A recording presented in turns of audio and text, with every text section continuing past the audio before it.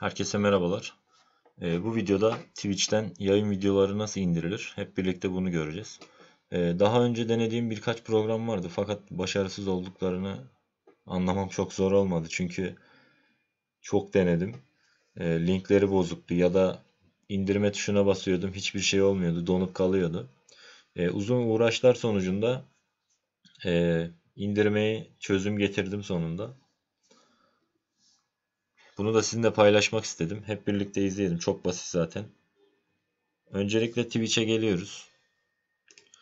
Herhangi bir yayıncıya girdik. Şuradan bastık bir videosuna. Videoyu kopyaladık. Buradan geldik antwitch.com'a yapıştırdık. Submit dedik. Burada e, yayının kalitesini ayarlayabiliyoruz. E, yüksek kalite olması için 1080 e, çok hızlı indirmek istiyorsanız da düşük olabilir.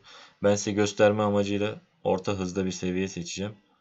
İndirme, indirmek için. Yayın kalitesini düşük seçiyorum yalnız. Şöyle istediğiniz süreyi de indirebilirsiniz. Mesela istediğiniz bir dakika aralığında falan da indirebilirsiniz buradan. Ben şöyle ortalardan yayının kendisine ait belirli bir dakika seçiyorum. Mesela 40 dakika ile 42 dakika arasına ayarlayayım şöyle. Şöyle. E geldik. Download video dedik. Gördüğünüz gibi indiriyor. Seçtiğim aralığı. istediğiniz aralıkta indirebilirsiniz. Ben size göstermek amacıyla yayın ileriden bir, bir kesimini aldım.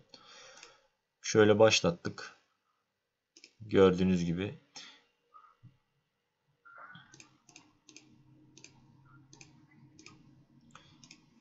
bulanık olması benim e, düşük kaliteyi seçmemden. Sadece bu kadar yani. İstediğiniz gibi 1080p'yi ayarlayıp yapabilirsiniz. İzlediğiniz için teşekkür ederim. Hoşçakalın.